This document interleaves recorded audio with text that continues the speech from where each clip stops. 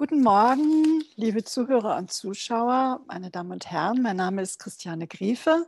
Ich bin Journalistin äh, mit dem Schwerpunkt Ökologie, Globalisierung, Landwirtschaft und habe die Ehre, Sie hier ganz herzlich beim heutigen Webinar der Heinrich-Böll-Stiftung und ihrer Partner bei diesem Projekt zu begrüßen.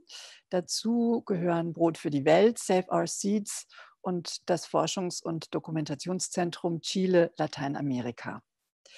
Damit wir uns verstehen, das Wichtigste zuerst, diese Veranstaltung wird simultan übersetzt ins Deutsche und ins Englische. Wählen Sie also bitte bei dem kleinen Globuszeichen unten auf Ihrem Bildschirm die Sprache, äh, in der Sie uns hier zuhören wollen. Das Thema, Sie haben es gesehen, naturbasierte Lösungen im Klimaschutz, Nature-Based Solutions. Das klingt so richtig grün, ist aber ambivalent und daher durchaus umstritten. Wo also sind Irrwege, wo sind Auswege? Alle Zahlen sprechen dafür, dass die Pariser Klimaziele nicht erreichbar sind weil uns die Zeit ausgeht, um noch die 2 oder gar 1,5 Grad Marke zu erhalten, geraten sogenannte Negativemissionen immer mehr ins Blickfeld. Und die Natur soll uns dabei helfen, diese Emissionen sozusagen zu bunkern. Globale Kohlenstoffausgleichsmechanismen gehören dazu, die Speicherung von Kohlenstoff in Wäldern und auch in der Landwirtschaft im Boden diskutiert werden zudem BECS. Dabei will man Biogas abspalten und im Boden speichern. Und es gibt auch einige weitere technologische Ansätze. Schätzungen zufolge sollen solche naturbasierten Lösungen bis zu 37 Prozent jener Emissionen einzusparen helfen, die notwendig sind, um das Zwei-Grad-Ziel noch zu erreichen. Solche Optionen sind nicht neu, aber sie erleben eine ganz neue Dynamik, seit Klimaneutralität zum Schlüsselbegriff im Kampf gegen die Erderwärmung geworden ist. Staaten, Städte, Unternehmen wollen nur noch so viel CO2 emittieren, wie die Atmosphäre an anderer Stelle ähm, auf diesem Globus in gleicher Menge wieder entzogen werden kann.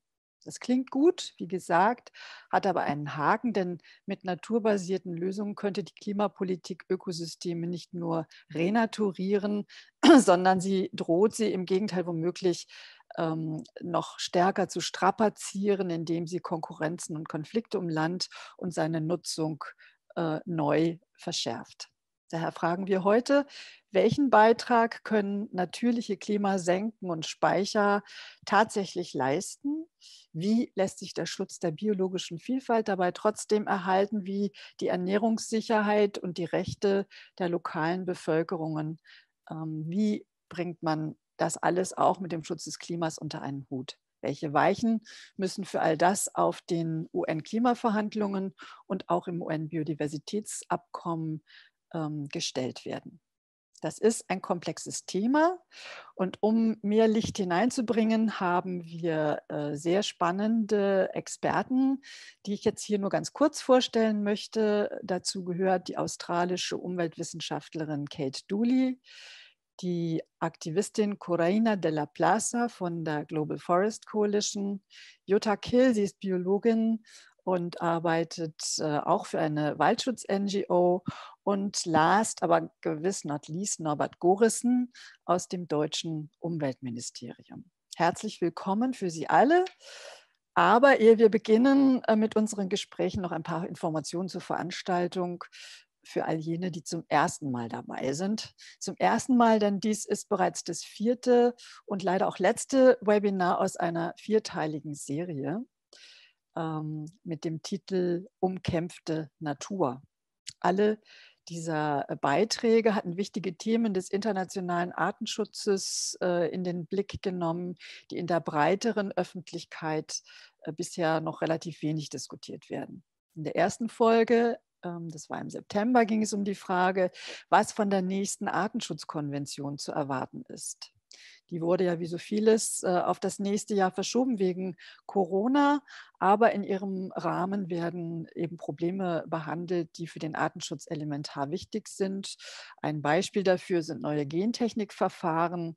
Deshalb waren Gene Drives, die für die einen als Wunderwaffe gelten und für die andere als Hochrisiko für Ökosysteme, ähm, das Thema des zweiten Seminars. Im dritten haben wir uns damit beschäftigt, was es eigentlich bedeutet, wenn heute nicht mehr nur das Erbgut von biologischen Ressourcen unmittelbar als Rohstoff genutzt wird für Produkte in der Medizin oder auch in der Landwirtschaft, sondern wenn wie heute schon möglich allein die digitale Information schon zum Rohstoff wird und ähm, dass äh, womöglich die bestehenden Abkommen zum gerechten Vorteilsausgleich, also zur Verteilung von Gewinnen bei solchen Produkten untergräbt. Soweit also der Rückblick. Und wer die drei Konferenzen nachhören möchte, der kann das äh, tun. Er findet äh, die Links dazu auf der Website der Heinrich-Böll-Stiftung unter dem Stichwort Dossier Biodiversität. Ich glaube, das wird auch gleich im Chat noch sichtbar werden.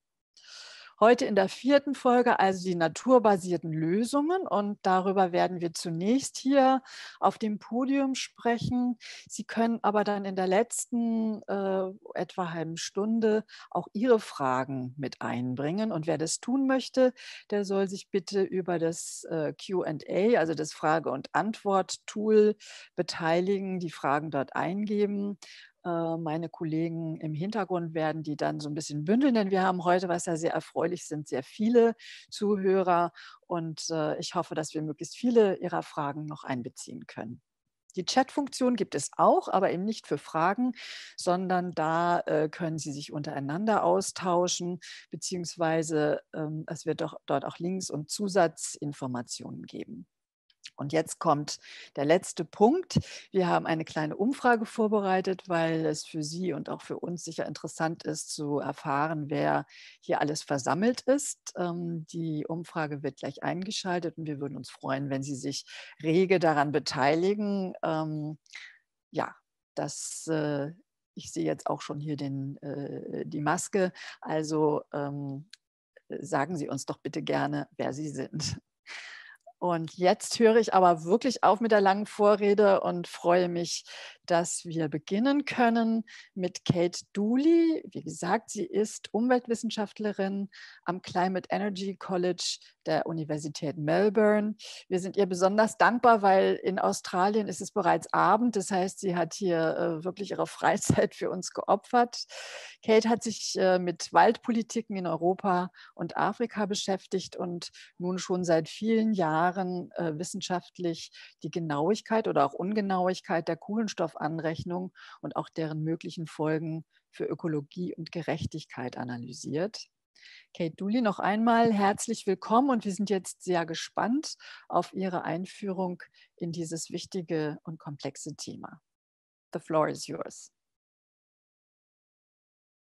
Kate. Thank you very much for that.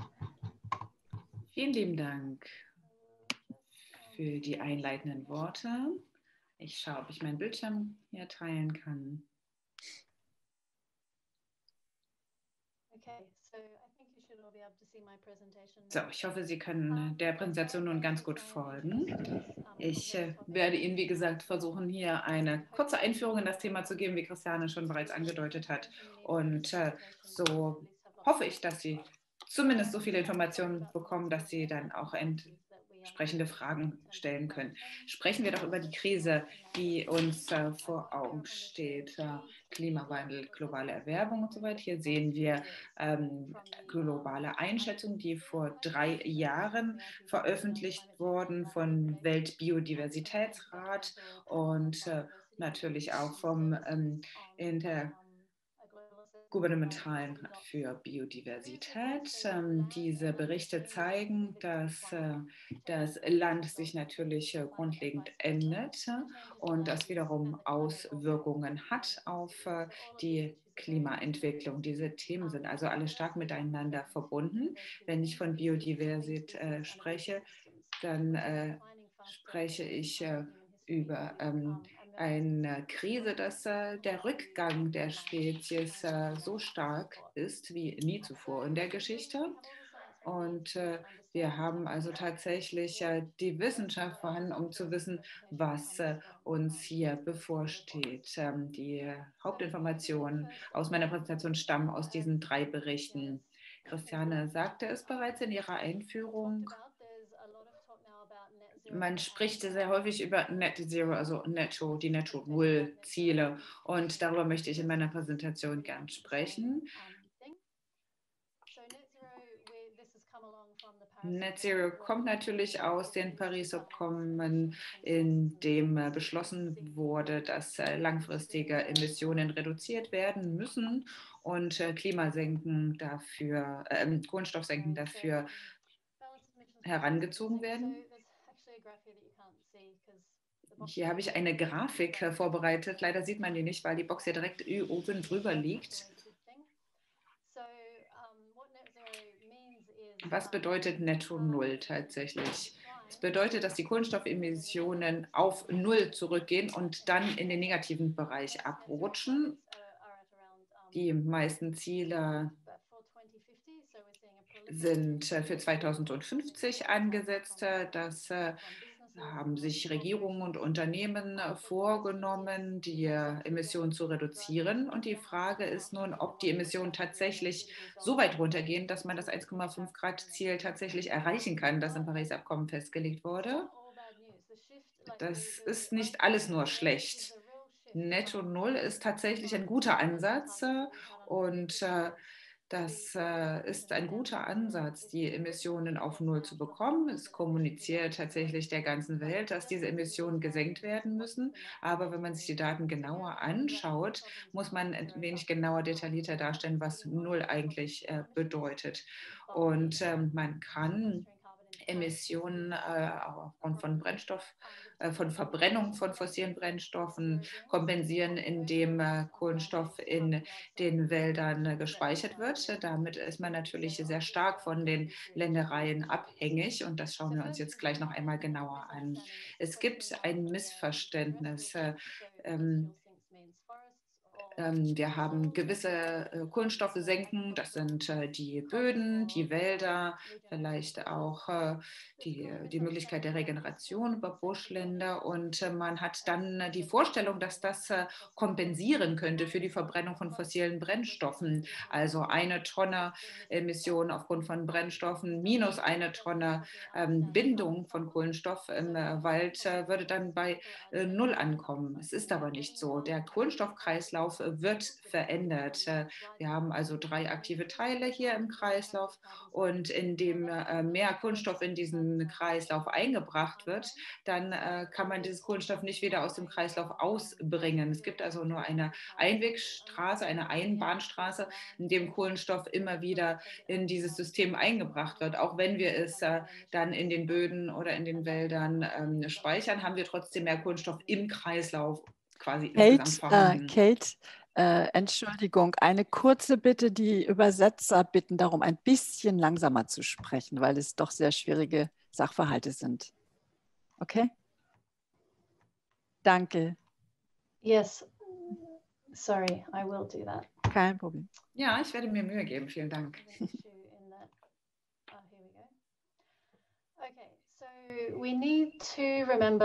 Wir müssen uns also in Erinnerung rufen, wie ich es äh, vorher schon sagte, dass äh, die äh, globale Erwärmung durch kumulative Emissionen hervorgerufen werden. Der Kohlenstoff verbleibt also tausende von Jahren in der Atmosphäre und damit äh, wird die Erde erwärmt. Wenn wir diese Emissionen Unternehmen, dann ähm, gehen diese kumulativen Emissionen natürlich auch nach unten. Man sieht das hier in der ersten Grafik auf der linken Seite. Da sehen wir ein Netto-Null-Ziel, das von 2055 vorverlegt wird auf 2040. Und auf der rechten Seite sehen wir dann, dass äh, die blaue Linie anzeigt, äh, wie diese reduzierten Emissionen sich auswirken. Man hat dann natürlich einen rascheren Abfall der Emissionen und kommt der Netto Null sehr viel näher. Weniger Kohlenstoff muss natürlich dementsprechend in die Atmosphäre eingebracht werden und weniger Erderwärmung ist davon dann auch die Folge. Es gibt äh, verschiedene Publikationen, die sich äh, diese Ziele für Europa angeschaut haben, Irland, Schweden und UK. Und äh, diese Ziele sollten nicht auf 2050 verlegt werden, sondern eher auf 2035 oder 40. Damit ähm, geht äh, einher, dass, dass, dass sie eben mehr Emissionen in der Atmosphäre haben. Also mehr Emissionen in der Atmosphäre heißt, dass wir mehr Emissionen auch aus der Atmosphäre herausfiltern müssen. Und das illustrieren hier die verschiedenen Wege, also für 1,5 Grad vom IPCC. Und diese Pfade haben als Ziel 2055. Da werden wir ähm, den Horizont überschreiten. Aber natürlich haben wir unterschiedliche Emissionsmengen. Also in der linken Grafik sehen wir, dass die Emissionen sehr schnell absinken und es sehr wenig äh, entfernt wird. Äh, auf der rechten Seite, also der Graubereich sind die Emissionen und wir haben die Nettemissionen als Linie, die die Null kreuzt. Und das heißt, wir brauchen, müssen hier wirklich sehr viel aus der Atmosphäre entfernen, um die Emissionen wieder aus der Atmosphäre herausfiltern zu können. Das Problem dabei ist, dass äh, die meisten Optionen für das Entfernen von Emissionen aus der Atmosphäre auf Land basieren. Und das Land wird aber in überwiegender Zahl bereits von Menschen genutzt. Das heißt, äh, mehr als 70 Prozent der eisfreien globalen Fläche wird äh, Und ähm, wir haben hier Grasland und Weideland. Und das ist Teil der Landnutzung. Das heißt, das führt ebenfalls zu einem Verlust an Waldflächen. Der zunehmende Druck auf Landflächen ist auch ein wichtiger Treiber für den Biodiversitätsverlust. Also das internationale Panel zur Biodiversität äh, hat die Auswirkungen äh, hier modelliert für 1,5 Grad und sie haben festgestellt, dass die Szenarien aus dem IPCC-Bericht negative Auswirkungen auf die Biodiversität hatten. Das heißt, sie haben diese Szenarien modelliert mit einer sehr frühen Emissionsreduktion und einer erheblichen äh, Bindung von ähm, Emissionen. Und das hatte dann eine geringere Auswirkung auf die Biodiversität. Alle Szenarien letztendlich hatten negative Auswirkungen auf die Biodiversität, sowohl aufgrund des Klimawandels als auch der Veränderung der Landnutzung. Das heißt, wir müssen wirklich die Landnutzung verändern als Teil unserer Klimaschutzbemühungen. Und die Grafik zeigt, dass die Abnahme an Spezies und auch die Zunahme von NCP ähm, vonstatten geht. Tut mir leid, ich habe jetzt hier einige technische Probleme.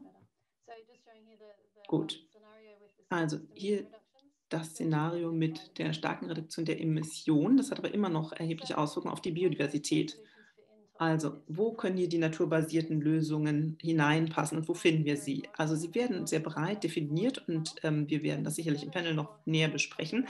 Aber es geht eben auch darum, wie CO2 sich auf die Biodiversität auswirkt und die CDR-Option, also die Kohlendioxid- Entfernungsoptionen werden hier aufgeführt. Das sind verschiedene Prozesse, also einmal die Landnutzung, Regeneration im Bereich im Meer und chemisch. Und naturbasierte Lösungen, da denkt man, dass es äh, um Aufforstung geht, um BECS, also die Bioenergie zusammen mit Kohlenstoffbindung und Speicherung ähm, oder Biocar. Aber alle sind hier abhängig von einer Veränderung der Landnutzung wir haben ja bereits darüber gesprochen, dass eine Veränderung der Landnutzung ein wichtiger Treiber bei, der, bei dem Verlust an Biodiversität ist. Und letztendlich wird, werden diese Strategien nur zu einer Verringerung der Biodiversität, zu, ähm, zu äh, Landnahme führen und zu anderen Problemen. Im Bereich Regeneration geht es natürlich auch um Ressourcenextraktion und ähm, ähnlichem. Aber die einzigen CDR-Optionen, die unseres Erachtens keine Auswirkungen auf einen Verlust oder einen, nicht zu einem weiteren Verlust an Biodiversität führen, ähm, sind äh, letztendlich regenerative, also eine Wiederherstellung der Ökosysteme. Da sind aber nicht die Aktivitäten enthalten, die umfangreiche ähm, Landnutzungsveränderungen beinhalten, die alle äh, negative Auswirkungen auf die Biodiversität haben.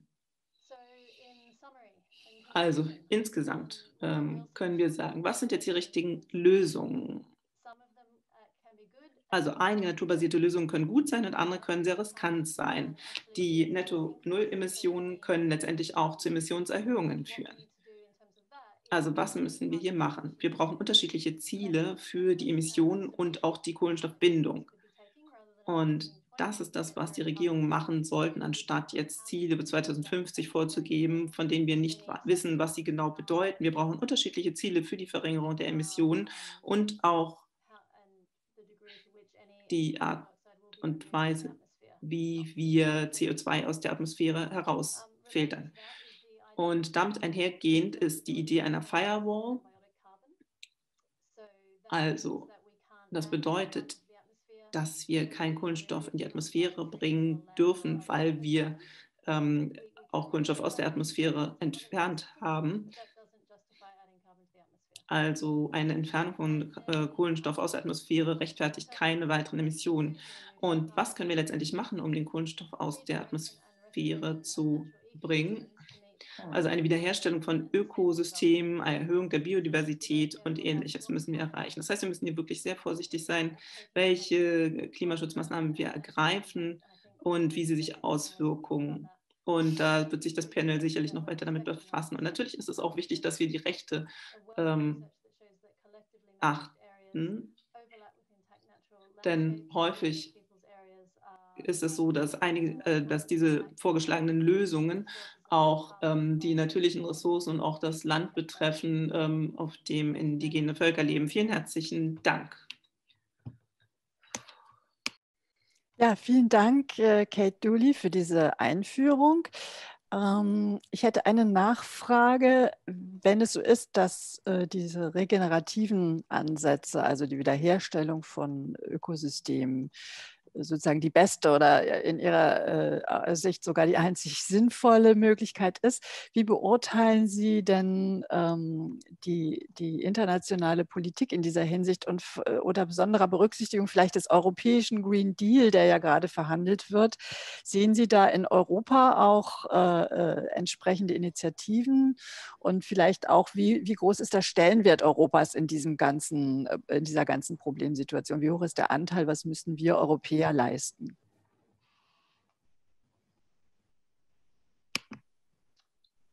Um, yeah, so the European Green Deal has ja, a lot of European Green Deal hat viele gute Elemente in sich und ähm, als er im vergangenen Jahr angekündigt wurde, war er sehr vorwärtsgerichtet, sehr progressiv und wurde natürlich weiterhin von NGOs auch begrüßt.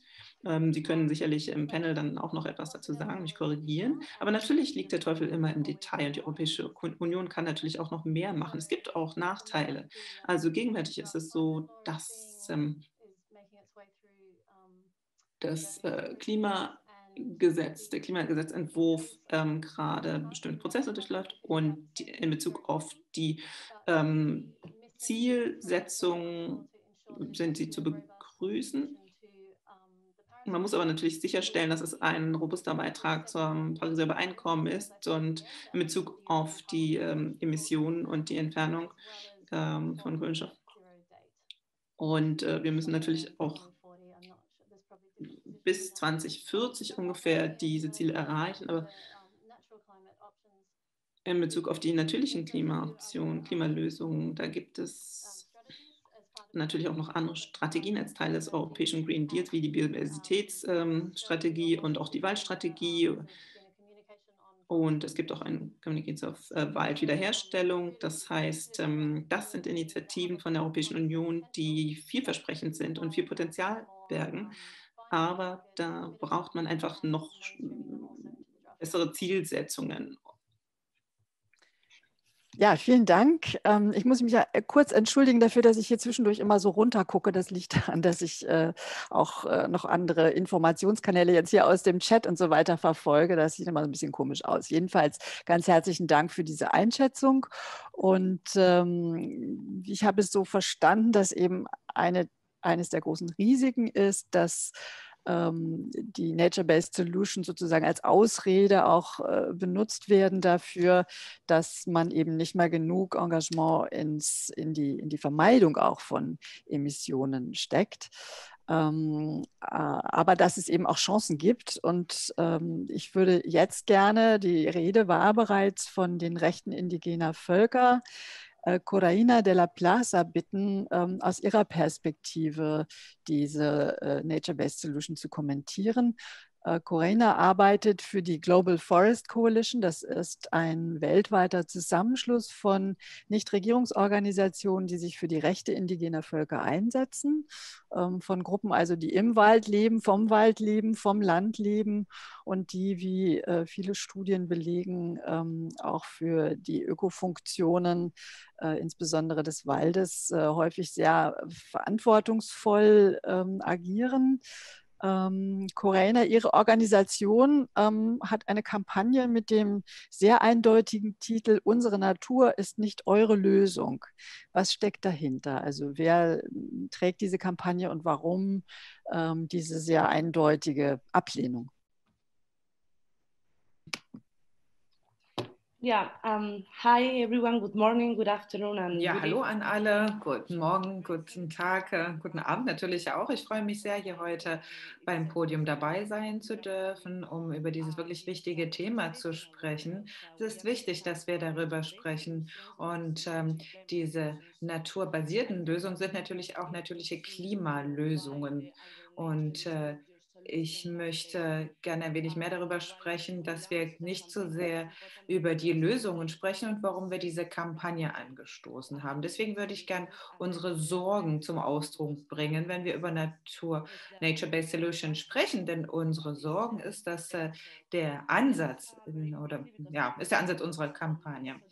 Kate hat äh, eigentlich schon darüber gesprochen, der Terminus äh, erschien in der wissenschaftlichen Literatur in den Anfang der Nullerjahre und in den letzten Jahren, ab 2016, hat dies an Bedeutung gewonnen.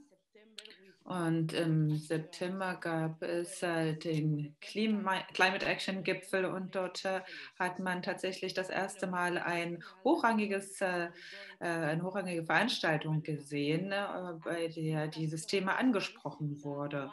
Und ähm, eine der Hauptprobleme oder eine unserer Hauptsorgen in diesem Zusammenhang ist diese Ambiguität, die sich um den Terminus äh, Nature-Based Solutions rankt. Es gibt tatsächlich keine formelle Definition des Begriffs. Ähm, es gab erste Ansätze von ähm, Gruppen wie ähm, der Weltnaturschutzorganisation, um äh, sich vielleicht anzuschauen, wie solche Lösungen aussehen könnten. Aber es gibt keine formelle Definition von offiziellen ähm, äh, ge, ähm, von offiziellen Institutionen. Derzeit ist also NBS äh, diese große Deckelname, der viele unterschiedliche Dinge bedeuten kann und sowohl positive als auch negative Ansätze unter sich vereint. So kann man das vielleicht erst einmal grob beschreiben. Denn in diesem Begriff gibt es so viele Zweideutigkeiten, dass man natürlich auch äh, sehr viele offene Türen hatte, die äh, von Akteuren genutzt werden können, um äh, weiterhin Kohlenstoffmärkte anzustoßen, um CO2-Kompensation anzustoßen, indem Aufforstung als Gegeninitiative anstößt. Es gibt also sehr viele Initiativen, die versucht, über die massive Anstieg Anpflanzung von Bäumen äh, CO2 zu kompensieren. Und das sind für uns falsche Lösungen, denn sie gehen nicht das Grundproblem des Klimawandels an. Der Klimawandel wird damit nicht abgemildert und äh, dabei geht es auch nicht um die Anpassung an den Klimawandel. Und äh, das ist auch das Problem mit den natürlichen Klimalösungen. Nature-Based Solutions ist äh, sozusagen der ähm, Oberbegriff und dabei geht es also um die Reduzierung und äh, es hat als äh, eine Achse diese ähm, Abmilderung des Klimawandels. Dabei geht es um diese Klimalösungen und diese zwei Begriffe werden ungefähr gleich hoch behandelt und da man da vielleicht nicht ausreichend Verständnis hat oder eben auch es keine offizielle Definition gibt, ist das äh, schwierig und natürlich auch sehr viel bequemer für viele, viele andere Akteure, sich äh, Landnutzungssysteme zunutze zu machen, die wir als falsche Lösungen bezeichnen für die Probleme, die vor uns liegen. Ein Beispiel vielleicht, um das zu veranschaulichen. Viele von Ihnen haben sicherlich über ähm, die Pflanzen, also um, um Baumanpflanzungen ähm, gehört. Da gibt es sehr, sehr viele unterschiedliche Initiativen. One Tree Trillion ist eine dieser Initiativen, die im letzten Jahr angestoßen wurde. Da gibt es aber noch sehr viele mehr gibt sehr viele verschiedene Verpflichtungen, die von Regierungen und auch von der Industrie übernommen werden, auch aus der Gas- und Ölindustrie um Bäume anzupflanzen und diese dann als äh, Nature-Based Solutions oder natürliche Klimalösungen zu markieren und ähm, dies dann so zu verkaufen, als wäre das Teil ihrer Netto-Null-Verpflichtung. Das Problem ist mit diesen Baumpflanzungen nur, dass ähm, wir uns da in diesem Zusammenhang mindestens ein paar Fragen stellen sollten.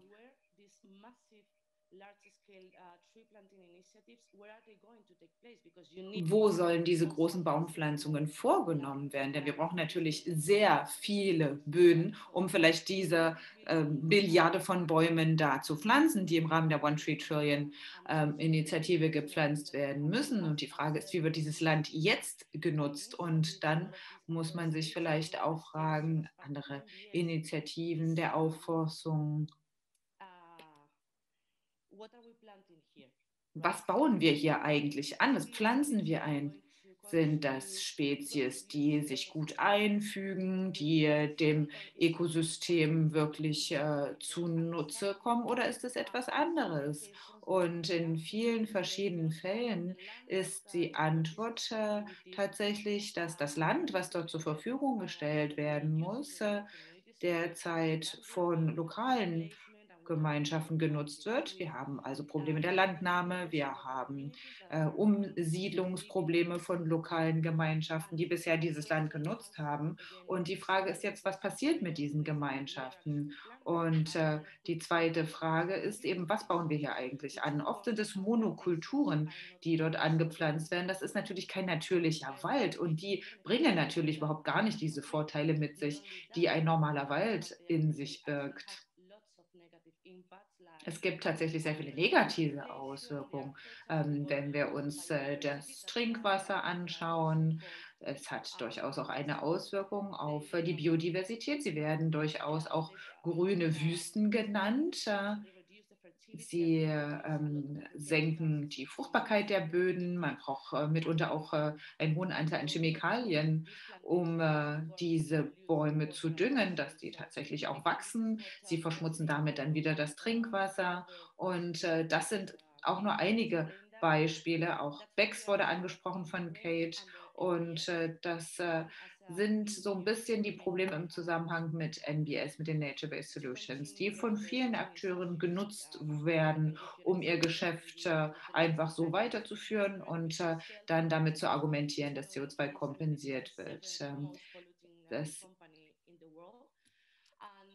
den Namen des Ach, Shell, Shell ist das Unternehmen, was an siebter Stelle steht, der Unternehmen, die die Welt am meisten verschmutzen. Und sie verkaufen uns auch ein System der Nature-Based Credits, also ähm, eine technologische Lösung, äh, Sie wächst zum Beispiel. 300 Millionen sollen auch in Baumpflanzungen investiert werden. Und eine dieser Baumpflanzungen haben in Europa schon stattgefunden. In Schottland, den Niederlanden, auch Spanien wurden solche Initiativen bereits angestoßen. Und äh, wenn man sich äh, diese Gemengelage anschaut, äh, dann äh, haben wir den Slogan erfunden und gesagt haben, dass unsere Natur nicht eure Lösung ist am Internationalen Tag, für Biodiversität äh, hat die CBD ein Slogan für die diesjährige Veranstaltung gefunden und gesagt, dass unsere Natur äh, die Lösung ist, um einfach damit zu sagen, dass es eben eine ganze Reihe falscher Lösungen gibt. Ganz viele Lösungen, die auf Geschäftsinteressen basieren und den Akteuren der Geschäftswelt letztlich wieder zuspielen und als naturbasierte Lösungen verkauft werden, aber letztlich eben falsche Lösungen sind.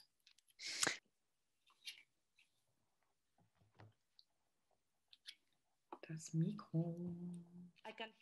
I'm sorry.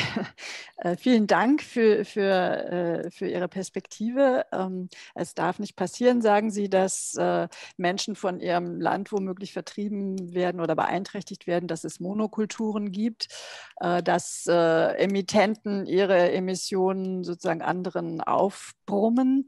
Aber es gibt ja auch äh, eine positive Seite. Also wir brauchen ja Bäume für den Klimaschutz. Äh, wir äh, müssen die Natur regenerieren und es muss finanziert werden. Und die Staaten sagen, wir können es nicht alleine finanzieren, deswegen macht es Sinn, die Industrie auch daran zu beteiligen. Sehen Sie denn ähm, auch Möglichkeiten oder Optionen oder was wären Ihre Vorschläge, damit man äh, die Sache auch konstruktiv anpassen, anpacken kann? Haben Sie da Vorschläge? So I do think that uh, it's important to uh, protect. Ich denke, es ist wichtig zu schützen, was bereits da ist. Und natürlich äh, ist es auch wichtig, äh, Finanzierungsmittel zu finden, um naturbasierte Lösungen zu finden. Und äh, die Biodiversitätskonvention ähm, versucht da auch äh, den guten Teil stärker in den Fokus zu rücken. Es kann natürlich ein guter Ansatz für die Finanzierung sein, aber es ist auch wichtig, dass nicht nur die Industrie, sondern auch die Regierung diese Projekte unterstützen und dass man auch die Interessen der Gemeinschaften im Blick behält und ähm, dass diese wirklich auch von den Gemeinschaften selbst mit entschieden werden, solche Prozesse. Es ist wichtig, dass äh, keine Subventionen an die Industrie gezahlt werden, äh, die zum Beispiel Öl- und Gasindustrie, auch die Landwirtschaft nicht weiter subventionieren, wenn ähm, solche schädlichen Praktiken angewandt werden. Was äh, die private Finanzierung betrifft oder die Rolle der Industrie in diesem Bereich, welchen Beitrag sie leisten könnten, da möchte ich in erster Linie erst einmal sagen, dass äh, sie drastisch ihre Emissionen einschränken müssen und sich dazu auch verpflichten müssen.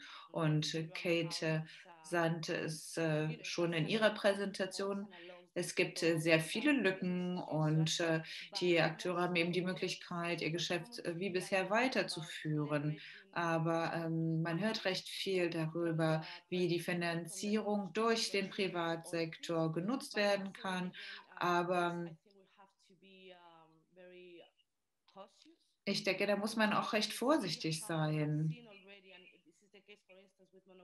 Denn das ist vielleicht auch das Problem mit der Anpflanzung von Monokulturen. Wenn man sich äh, die Finanzierung anschaut, dann geht diese Finanzierung oft in ungünstige Lösungen. Wir müssen uns also fragen, was unsere Rendite ist, also oder welche Rendite ähm, hat der Privatsektor vor Augen. Wenn 100 Millionen Euro investiert werden, um Baumpflanzung zu finanzieren, da vermutet man doch, dass sie auch etwas dafür haben möchten, dass äh, eine gewisse Gewinnbeteiligung ähm, erwartet wird. Es ist äh, eine große Investition, die sie vorher nicht getätigt haben. Warum tun sie es jetzt? Die Frage muss man sich durchaus stellen. Und okay.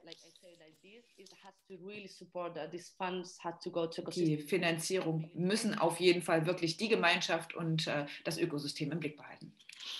Ja, vielen Dank. Das klingt so, als ob man zumindest politische Rahmenbedingungen bräuchte, die all das gewährleisten, äh, was äh, Coraina de la Plaza gerade formuliert hat. Und das führt uns sozusagen unmittelbar in die internationalen Verhandlungen zu dem Thema. Ähm, mit denen hat sich äh, schon seit sehr vielen Jahren Jutta Kill beschäftigt. Jutta Kill ist äh, Biologin, ähm, sie ist, äh, sie ist äh, Waldexpertin, publiziert äh, darüber und äh, engagiert sich außerdem im Global Rainforest Movement in der Organisation. Ähm, sie beobachtet seit vielen Jahren unter anderem das sogenannte RED-Abkommen, REDD. Die Abkürzung steht für Reduktion von Emissionen aus Entwaldung und Walddegradierung. Ähm, das gibt es schon seit vielen, vielen Jahren, aber so richtig kommt es nicht voran im Rahmen des Klimaschutzabkommens. Äh, woran liegt das? Wie ist dieses äh, Abkommen äh, zu bewerten? Wie, wie, wie sehen Sie die Chancen, dass äh, die Anforderungen, die gerade formuliert wurden, also Beteiligung, äh, äh, ökologische Verträglichkeit ähm, von den ja notwendigen Aufforstungsprogrammen oder Moorschutzprogrammen, äh, dass das alles gewährleistet wird? Frau Kill. Ja, Frau Griffe, vielen Dank. Ähm, warum kommt äh, RED nicht voran? Ich würde fast sagen, zum Glück kommt äh, RED nicht voran in den internationalen Klimadebatten. Und das, was ich heute oder dass wir heute, was wir heute zu RED ähm, diskutieren oder was ich als meine Konsequenz aus meine Lehren aus den letzten 15 Jahren RED ähm, schließe oder ziehe, das glaube ich, werden wir in 15 Jahren äh, fast gleich aus, als Lehren aus den Nature-Based sogenannten Solutions ähm, sehen. RED, wie Sie sagten, steht für die Minderung von Emissionen aus Entwaldung und nimmt damit schon gleich zu Anfang den Umweg über Kohlenstoffbilanzierung hin zu einem äh, Problem, äh, einem Phänomen, was weit über Bilanzierungsfragen, Kohlenstoffbilanzierungsfragen hinausgeht, äh, und zwar die, die Entwaldung, die großflächige Entwaldung. Äh, RED basiert. Ähm, es dominiert, wie gesagt, seit etwa 15 Jahren die internationale Wald und eigentlich auch mehr und mehr die Klimadiskussionen, ähm, basiert auf einer in Klammern unvollständigen und dadurch auch falschen äh, Annahme, dass Entwaldung finanzielles Problem ist. Äh, Geld spielt sicherlich auch eine Rolle, aber Entwaldung auf eine Frage von Geld zu reduzieren, verkennt die Ursachen und die eigentlichen Treiber von Entwaldung. Und wenn die Problemanalyse unvollständig und damit falsch ist, überrascht es vielleicht auch nicht, dass das Instrument dann auch den falschen Weg einschlägt. Und ich teile hier jetzt, jetzt gerne kurz die, meine ähm, Bildschirm äh, teilen.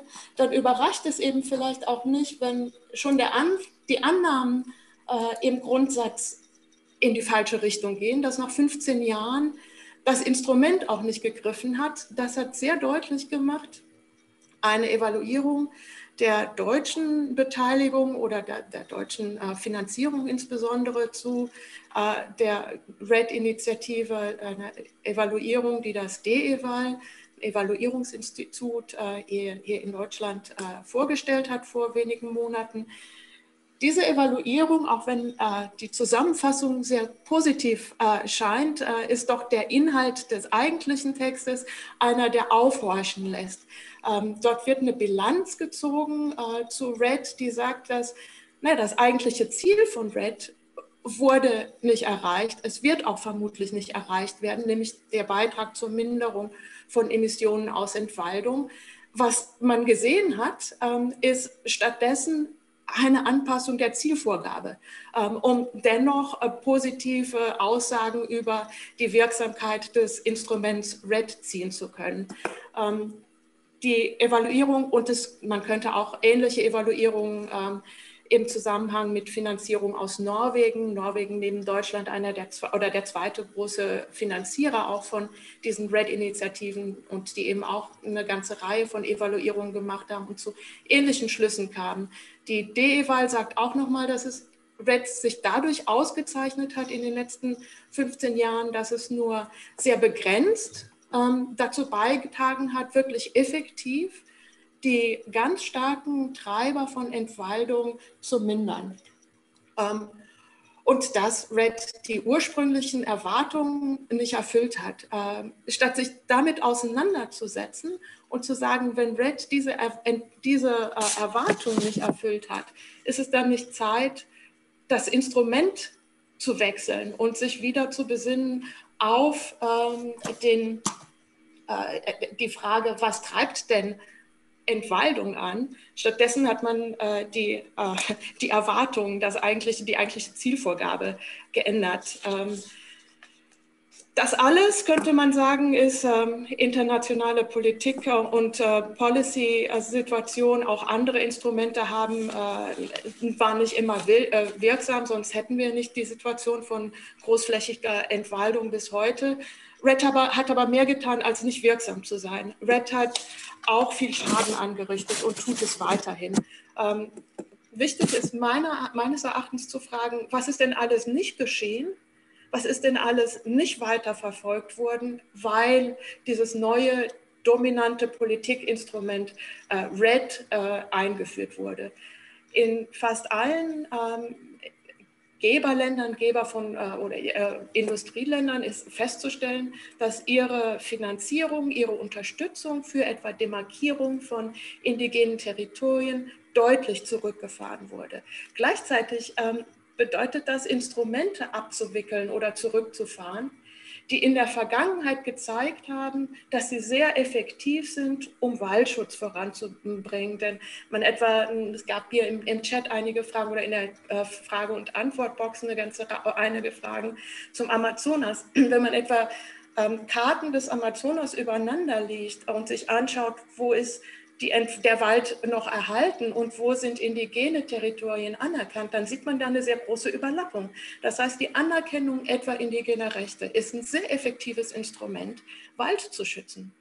Mit der, ähm, der, äh, dem Aufkommen des Instruments RED wurden solche Initiativen immer weniger äh, verfolgt. Sie existieren noch, aber mit sehr viel weniger ähm, Finanzierung, mit sehr viel weniger Augenmerk und immer über den Umweg einer Kohlenstoffbilanzierung. Und damit sind sie ähm, in eine andere Richtung gedrängt worden.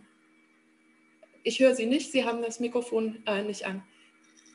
Äh, liegt das, wenn ich kurz nachfragen darf, tatsächlich an RED oder sind das nicht ganz unabhängige parallele Prozesse? Also wie können Sie belegen, dass RED die Ursache dafür ist? Naja, wenn, äh, die Ursache nicht, aber es ist eben, wenn es Red nicht gäbe, dann wäre der, der Schwerpunkt andere. Dann hätten wir eine andere Debatte. Wenn man sich die letzten 15 Jahre Wald, internationale Walddebatte oder internationale Debatte über Entwaldung anschaut, seit Red, dann fokussiert die sich mehr und mehr auf technische Fragen der Kohlenstoffbuchhaltung.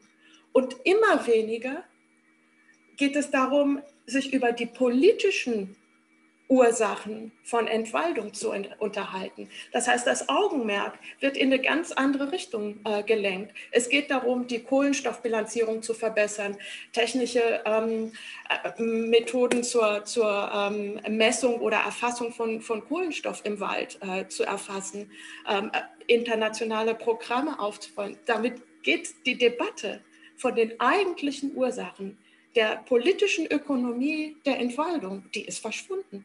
Red hat die, diese, im Kern muss es eine politische Debatte sein. Wer hat Interessen, wer verfolgt Interessen und warum wird äh, Entwaldung äh, weitergetrieben aufgrund dieser, dieser Interessen? Darüber redet, redet äh, man, reden wir oder redet die Red-Debatte nicht mehr. Bei Red geht es um die technische Frage, wie kann man die Kohlenstoffbilanzierung ähm, im Wald verbessern. Damit und? wird sich kein Wald retten lassen. Und die Kohlenstoffbilanzierung ist ohnehin eine schwierige Angelegenheit, wenn ich das richtig sehe, oder? Also äh, Finanzmittel sollen jetzt nach sogenannten ähm, Results-Based Payments äh, mhm. vergeben werden. Also äh, die, die Ergebnisse müssen berechnet, äh, berechenbar sein, mhm. kalkulierbar sein. Ist das überhaupt möglich? Äh, ja, das ist noch ein anderer, äh, ein, ein anderer Verlust ähm, in der Debatte, der mit RED zusammenhängt. Der Erfolg muss in Tonnen Kohlenstoff nachweisbar sein. Wie wollen Sie denn viele der sozialen und politischen ähm, Fortschritte, die es eigentlich braucht, äh, die Frage um Demarkierung, wie wollen Sie denn eine Kampagne für Demarkierung in Tonnen Kohlenstoff ausdrücken? Das kann man machen, das wird auch getan, aber es, es nimmt den Fokus von der eigentlichen Debatte. Ähm, und es nimmt auch sehr viel Geld und ähm, damit nicht nur Geld, sondern auch äh, Zeit, ähm, die, die verschwendet wird, meines Erachtens, und hingeht zu Kohlenstoffbilanzierung und eben nicht, die verwendet wird, um über die Frage äh, zu diskutieren und Lösungsansätze zu verfolgen äh, zur Frage, wer profitiert denn eigentlich von Entwaldung?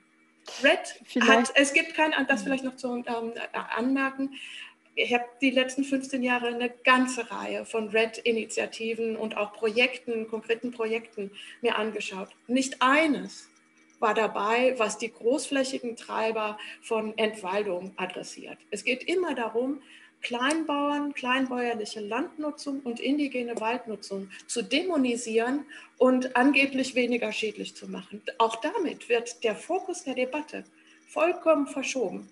Ähm, wenn ich äh, Darf ich großer, äh, da kurz einhaken? Also ich habe selber mal ein RED-Projekt in Tansania gesehen, bei dem eigentlich genau das Gegenteil passierte, wo nämlich äh, äh, Landwirt, also Bauern, Kleinbauern dazu motiviert wurden, den Wald zu erhalten und dafür zum Beispiel ähm, äh, Kohleöfen auch bekamen, äh, die nicht mehr mit der ja sehr umweltschädlichen, auch klimaschädlichen bei äh, ähm, Holzkohle ähm, äh, befeuert wurden. Also Frage, kann man es auch anders machen oder wenn mit der Bitte um eine kurze Antwort, wie, was, was soll denn gewährleisten, dass hm. Ihre Prioritäten äh, erreicht werden?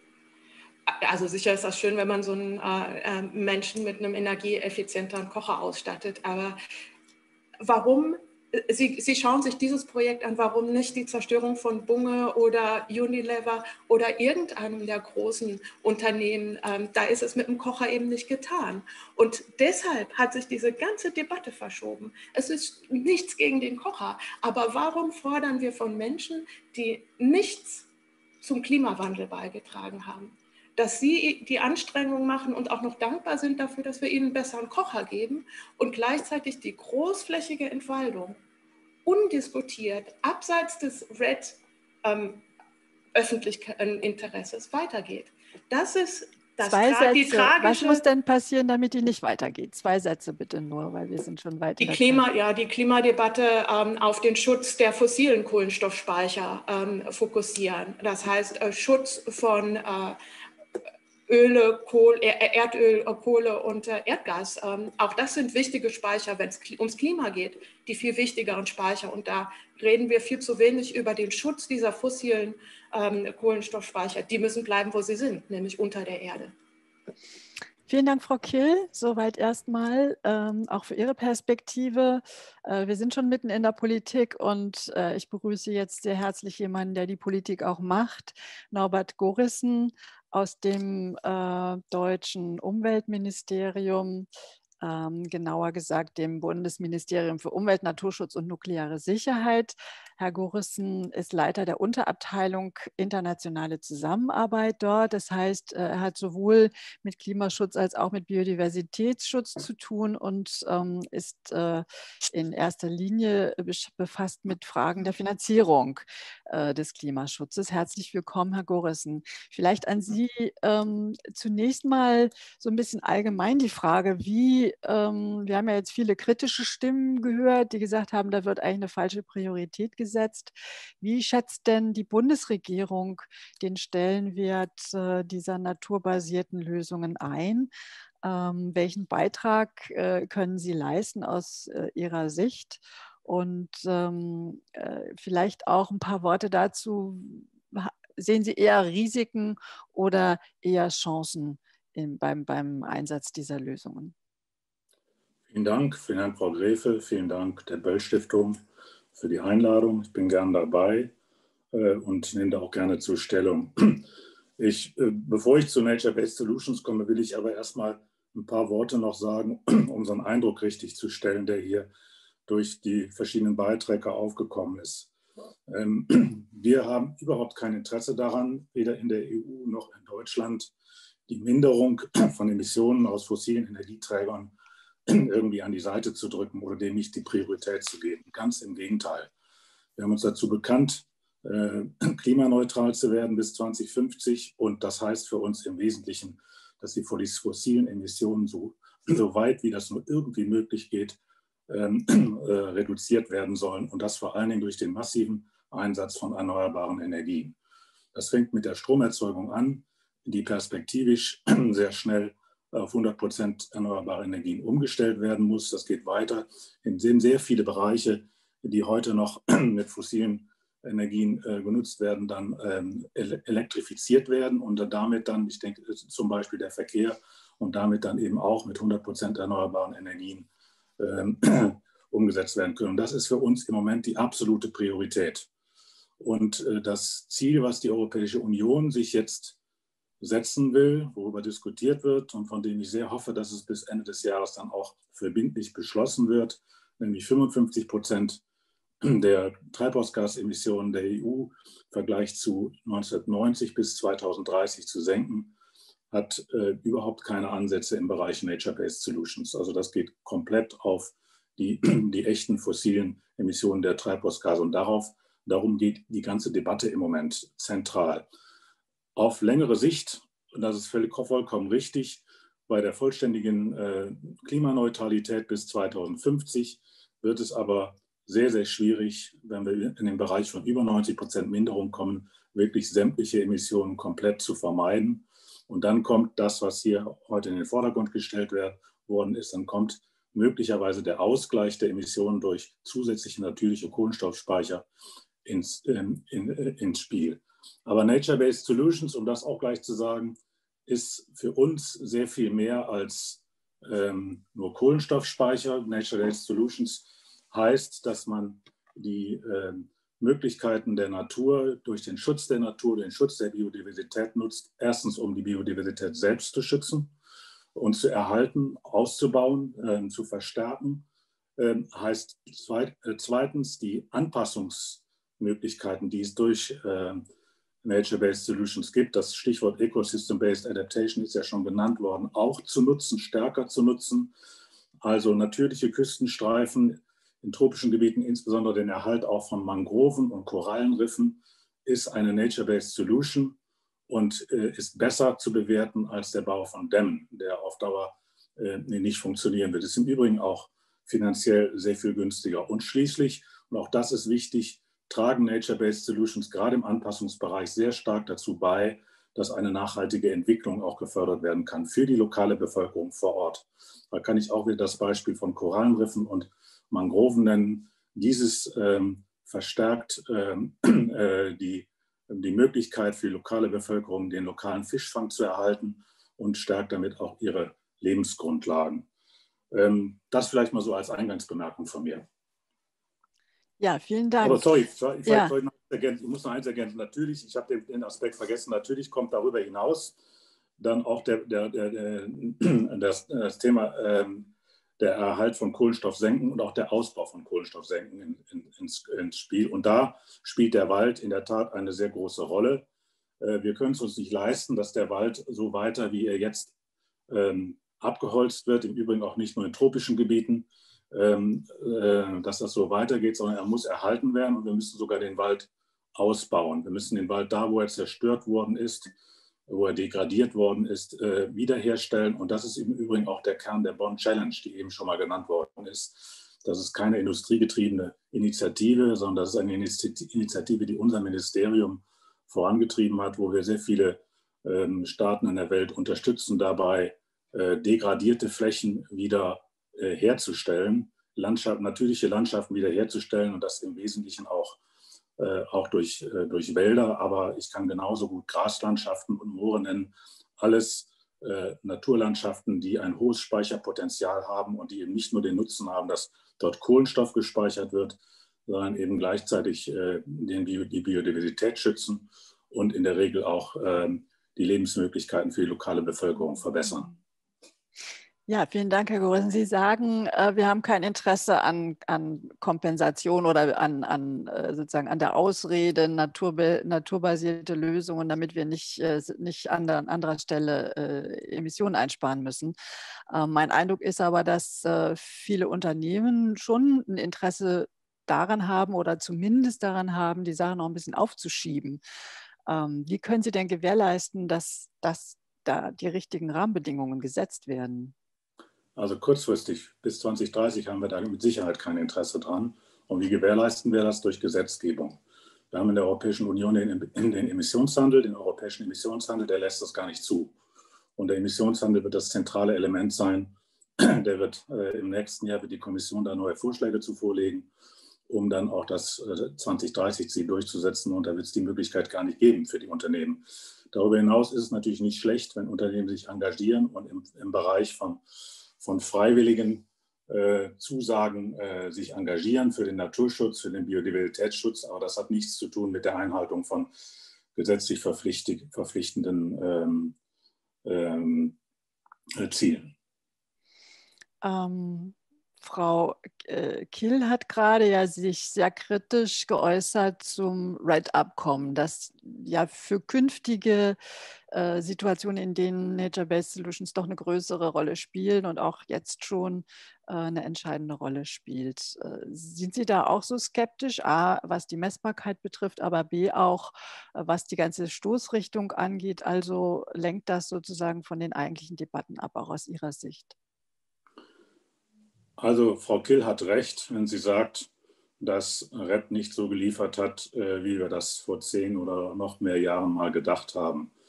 Es ist in der Tat sehr schwierig, das sauber zu bilanzieren und es ist noch viel schwerer, das, das umzusetzen, dass man wirklich zu Result-Based Payments kommt. Ähm, und da haben wir sehr viel gelernt. Wir wissen mittlerweile, ähm, dass es, äh, dass es mehr bedarf, den Wald zu erhalten, als nur einen funktionierenden REP-Mechanismus zu installieren.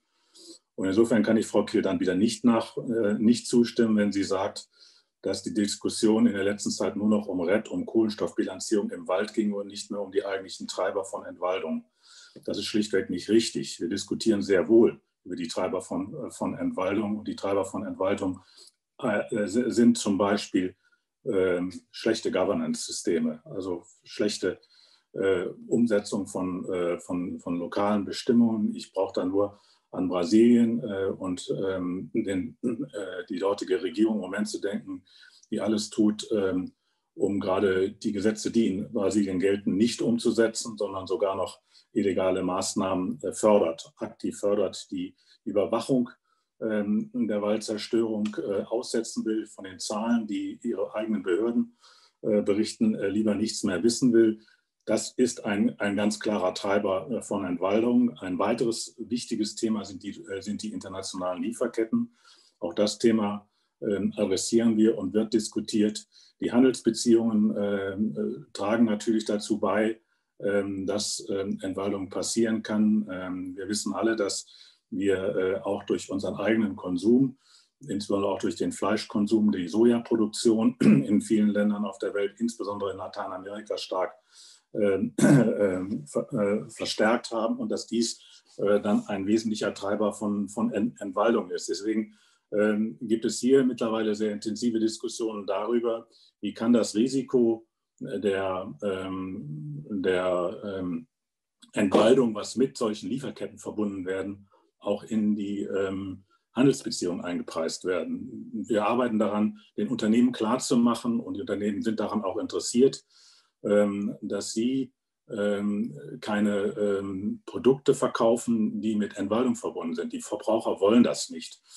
Und insofern äh, kann man hier auch gleich ein, sogar ein finanzielles Risiko für die Unternehmen darstellen, dass man sagen kann, also wenn, wenn auf eurem äh, Produkt das Label draufsteht, ähm, diese, dieses Produkt hat dazu beigetragen, dass der Amazonas äh, entwaldet wird, dann ist das nicht verkaufbar. Dann ist das ein Risiko für das Unternehmen, äh, solche Produkte überhaupt noch in den Markt zu bringen. Und die Bereitschaft, sich damit auseinanderzusetzen, äh, nimmt zu. Äh, und äh, das fördern wir aktiv. Wir, wir arbeiten mit entsprechenden ähm, ähm Initiativen, äh, die auch sehr stark vom Privatsektor getrieben, wird, getrieben werden, zusammen und fördern genau dieses Denken Es ist keineswegs so, dass alle Unternehmen das Interesse daran haben, Produkte zu verkaufen, die mit so einem Image ähm, ähm, auf den Markt kommen. Ähm, wir arbeiten sehr stark mit den Waldländern daran, dass sie ihre Governance-Systeme verbessern, dass sie ähm, mit den lokalen Behörden arbeiten, dass dort die Kapazitäten ausgebaut werden, ähm, um, um, um sicherzustellen, dass einerseits die lokale Bevölkerung ein Einkommen hat, dass Kleinbauern äh, dort tatsächlich wirtschaften können, aber dass sie so wirtschaften können, dass, äh, dass sie nicht weiter in den, in den, in den Wald hinein, hineingehen Dafür brauchen sie Unterstützung und dafür brauchen sie am Ende dann auch Geld. Insofern ist das Beispiel, was Sie selbst genannt haben, mit den Öfen ein, ein sehr wichtiges Beispiel, weil genau so äh, sollte RED eigentlich funktionieren, dass man äh, die, äh, dass man die, die äh, lokale Bevölkerung vor Ort dafür entlohnt, dass sie, ähm, äh, äh, dass sie den, Wald und die Bio, Biodiversität vor, Ort enthält. Und das kann man zum Beispiel machen, indem man sie unterstützt dabei, äh, einen besseren, einen effektiveren Landbau zu betreiben, indem man ihnen dabei unterstützt, dass sie äh, effizienter äh, kochen können, das heißt mit, mit Öfen zu arbeiten, die nicht so viel Holz verbrauchen und so weiter. Das ist Teil des Rettmechanismus. Das aber dann umzusetzen im großen Stil ist in der Tat sehr schwer. Da gebe ich Frau, Frau ähm, Kill recht und wir, wir, sind da noch nicht so weit, wie wir gerne wären. Und wir setzen keineswegs alleine darauf, nur mit, ähm, mit dem Rettmechanismus ähm, den Wald zu retten. Vielleicht, äh, es kommt jetzt ja auch die Nachfrage aus dem Publik Publikum. Ähm, Sie haben ja gesagt, Sie, Sie glauben, dass äh, die Nature-Based Solutions erst sehr spät äh, eine größere Rolle spielen. Ähm, aber die Klimaziele sind ja tatsächlich im Augenblick so sehr außer Reichweite in Europa, äh, dass der Druck doch womöglich darauf steigt, auch sehr viel früher damit zu beginnen, oder? Das wäre die eine Frage und ich lege noch eine zweite nach. Ähm, Sie sagen, die Verbraucher sollen äh, sozusagen dafür sorgen, dass die Nachfrage nicht mehr zu solchen Problemen führt, wie sie gerade äh, geschildert wurden, große Investitionen in Land äh, von Unternehmen wie Bunge oder Entwaldung in Brasilien. Ähm, aber ist da nicht auch die Politik gefragt? Wie kann die denn es den Verbrauchern leichter machen? Diese zwei Fragen noch an Sie und dann würde ich gerne mal in die Runde gehen. die letzte Frage zuerst. Ähm, da kann ich jetzt äh, nicht für die Bundesregierung als Ganzes sprechen, aber ich will nur das Stichwort nennen, das Stichwort Lieferkettengesetz. Ähm, das Lieferkettengesetz könnte natürlich genau an der Stelle auch ähm, für Umwelt entsprechende Vorkehrungen äh, vorsehen. Das ist etwas, was wir durchaus vorschlagen, aber im Moment ist das in der Regierung noch kein Konsens und das Gesetz weiß ich nicht, ob das noch kommen wird in dieser Legislaturperiode, aber es ist nur mal ein Beispiel, um darauf hinzuweisen. Und dann ist die Verantwortung nicht nur beim Verbraucher, sie ist auch bei den Unternehmen, die habe ich eben auch genannt. Ähm, dann zu Ihrer ersten Frage. Ähm, kurzfristig, und damit meine ich die nächsten zehn Jahre, geht es zumindest im Bereich Minderung nicht darum, mit Nature-Based Solutions irgendetwas auszugleichen, was man an Emissionsminderung direkt machen könnte. Also wir arbeiten daran, das habe ich eben schon gesagt, ähm, dass äh, alle fossilen ähm, Energiequellen, ähm, dass alle fossilen Energieverbraucher ihre Emissionen drastisch senken, dass es in Richtung Null geht. Das geht für den Bereich äh, Energie, für die Stromerzeugung, das geht für den Bereich Verkehr. Äh, da ist die Elektromobilität das Beispiel. Das geht auch in weiten Bereichen sogar für die Industrie. Effizienz ist ein wichtiges Thema. Das geht für den Gebäudebereich. Das ist die Priorität. Und dann werden wir irgendwann in den nächsten, nächsten 20 bis 30 Jahren an Bereiche kommen, wo es sehr, sehr schwer wird. Das sind bestimmte Prozesse in der chemischen Industrie. Das kann sein, dass das ähm, im Flugverkehrsbereich so, so, sein wird oder im, ähm, ähm, vielleicht auch, auch, im Schwerlastverkehr, wo wir sagen müssen, hier brauchen wir vielleicht etwas anders als elektrische Lösungen. Und dann kann es sein, dass wir in der Tat daran denken müssen, was gibt es für Alternativen? Gibt es künstliche Kraftstoffe, die wir herstellen können, die wir chemisch herstellen können oder wo wir vielleicht auch Biomasse einsetzen müssen oder müssen wir nicht sogar in bestimmten Bereichen ähm, äh, kompensieren, indem wir tatsächlich ähm, äh, diese hier genannten Nature-Based Solutions äh, einsetzen, die in, im Wesentlichen darauf abzielen, ähm, dann sogar äh, Biomasse zu verbrennen und den Kohlenstoff zurückzuholen und wieder in der Erde zu, zu verbrennen. Aber die kurzfristigen Nature-Based Solutions, die sind mir eigentlich viel wichtiger. Die sind, das, sind der Bereich Anpassung und die ist auch der Bereich Erhalt und Ausbau der Biodiversität. Das ist doch eine Win-Win-Situation. Da spricht doch überhaupt nichts dagegen. ähm, die Bäume, die bei uns durch Stürme und durch Borkenkäfer äh, umfallen, ähm, wieder zu ersetzen. Und das nicht nur bei uns zu tun, sondern überall zu tun. Es spricht gar nichts dagegen, die Biodiversität weiter ja. aus, äh, die, die, die, äh, den Wald weiter auszubauen. Es spricht nichts dagegen, ähm, Feuchtgebiete wieder zu vernässen, damit große Potenziale zu schaffen. Das würde ich aber jetzt nicht in den Vordergrund stellen als eine Maßnahme, um Emissionen zu mindern, sondern als eine Maßnahme, um vor allen Dingen auch die Biodiversität zu, äh, erhalten und auch das natürliche äh, Kompensationspotenzial, was es ja heute schon gibt, zu erhalten. Ja Dazu vielleicht eine ganz kurze Nachfrage, weil die gerade aus dem Publikum war, wirklich mit der Bitte um eine ganz kurze Antwort, weil wir die anderen noch mal hören wollen. Äh, Sie sagen, äh, die Wiederaufforstung auch jetzt in Deutschland, da hat ja das Landwirtschaftsministerium gerade 500 Millionen Euro bereitgestellt, um den Waldbesitzern dabei zu helfen. Aber soweit ich weiß, gibt es dafür keine besonders großen Auflagen dafür, wie das gemacht wird. Also ob es im Sinne von wieder Monokulturen oder, oder eben tatsächlich äh, vielfältigen und artenreichen Wäldern passiert. Wie, wie schätzen Sie das ein? Also da kenne ich mich jetzt nicht im Detail aus, was für Auflagen das Landwirtschaftsministerium an dieses Programm anstellt. Aber ich weiß, dass sehr viele, viele Waldbesitzer und, ähm, und auch vor allen Dingen äh, öffentliche genauso wie private sehr wohl wissen, dass in den Monokulturen keine Zukunft liegt, weil der stärkste Treiber ähm, des Biodiversitätsverlustes und auch die stärkste Bedrohung für den Wald ist der Klimawandel. Und, und insofern muss man sich auf den Klimawandel einstellen und das kann man mit Monokulturen ganz sicher nicht. Das ist okay. schlichtweg, äh, schlichtweg ein Stranded Asset, wenn man wieder in Fichtenmonokulturen einsetzt. Und ich glaube, das wissen die Fachleute. Vielen Dank soweit. Ähm, ich würde gerne jetzt Kate Dooley fragen. Ähm, Kate äh, Norbert Gorissen hat gerade gesagt, es gibt sowas wie eine Win-Win-Win-Situation. Und tatsächlich scheint auch mir das so ein bisschen der Widerspruch zu sein. Es gibt die Probleme, es gibt die Kritik, es gibt die vielleicht falsche Steuerung, die fehlende Rahmensetzung bei diesen Nature-Based Solutions. Aber könnte man nicht tatsächlich sozusagen drei Fliegen mit einer Klappe schlagen, nämlich die Biodiversität äh, nicht nur äh, zu erhalten, sondern sie sogar zu steigern, äh, äh Kohlenstoff zu speichern und Entwicklungschancen für Regionen äh, zu schaffen, wenn man es richtig macht. Also wenn man mit einer Vielfalt Vielfaltslandwirtschaft mit einer vielfältigen Waldbewirtschaftung mehr Grün auf diesen Planeten bringt, damit er auch äh, nicht nur Kohlenstoff speichert, sondern kühlt, Wasser schützt und so weiter. Also was muss passieren, damit so eine äh, damit so eine Win-Win-Situation ähm, zustande kommt?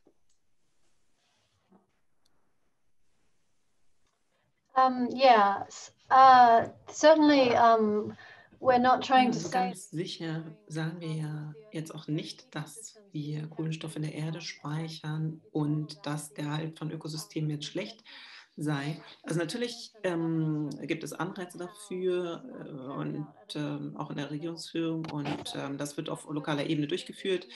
Also wenn man Win-Win erzielen möchte, dann äh, gehen wir doch zurück zu dem ersten Punkt meiner Präsentation, dass man nämlich sicherstellt, dass fossile Brennstoffe nicht weiter verbrannt werden, wenn wir die Umwelt wiederherstellen wollen. Also selbst wenn wir alles richtig machen, wird die weitere Nutzung von fossilen Brennstoffen den Klimawandel weiter vorantreiben und auch zu Biodiversitätsverlust führen. Also wenn wir uns einigen darauf, dass wir keine weiteren fossilen Brennstoffe mehr äh, nutzen sollten, dann ähm, kann natürlich auch die Wiederherstellung von Ökosystemen äh, sehr nützlich sein. Und ähm, ich nenne das rechtsbasierter Ökosystemansatz. Ich denke, das ist die Terminologie, die wir uns anschauen sollten, anstatt naturbasierte Lösungen, also die ja sehr abstrakt sind.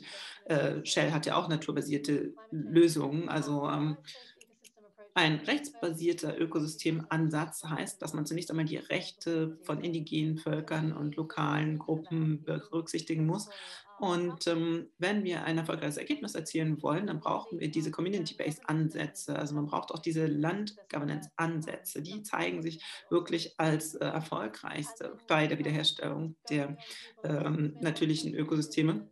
Und es gibt auch viele Fragen im Ökosystem äh, über die möglichen Ansätze für den Klimaschutz und zum Schutz von Ökosystemen. Ähm, Also die Biodiversitäts- und Klimakrise sind beide so äh, umfassend und so gravierend, dass wir uns das aus der Perspektive der Wiederherstellung der Natur und der Erhaltung der Biodiversität anschauen mussten und nicht nur den Bereich Kohlenstoffkreislauf äh, anschauen sollten. Also es ist wirklich sehr wichtig, sich darauf auch zu konzentrieren. Ähm, und ich das ist wahrscheinlich das größte, das ist wahrscheinlich das größte Problem, dass die Klimacommunity und die Biodiversitätscommunity immer noch viel zu sehr nebeneinander herdenken. An Sie, äh, Kate Dooley, kam aber auch hier nochmal eine Frage ähm, aus dem Chat, aus dem Publikum, nämlich äh, wie früh müssten Deutschland, wie früh müsste Europa denn auf Netto Null kommen, damit der gerade erwähnte Druck auf die Nature-Based Solutions nicht früher entsteht, damit er nicht steigt? Können Sie das beziffern?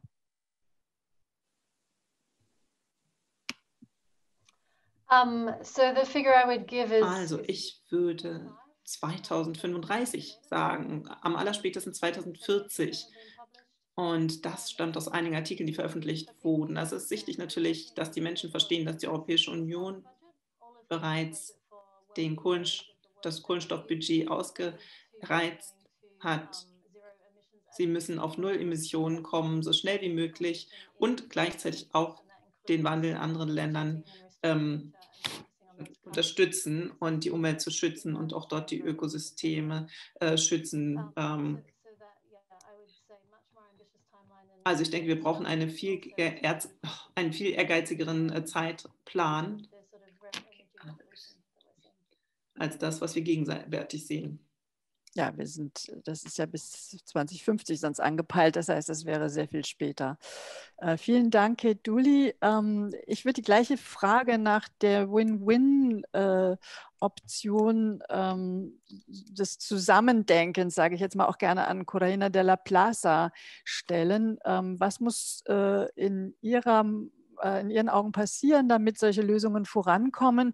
Vielleicht haben Sie auch ein konkretes Beispiel mal dafür, wo Sie sagen würden, da haben alle profitiert, der Wald, die Biodiversität, das Klima und die indigenen Völker. Können Sie vielleicht äh, ein Beispiel auch erzählen?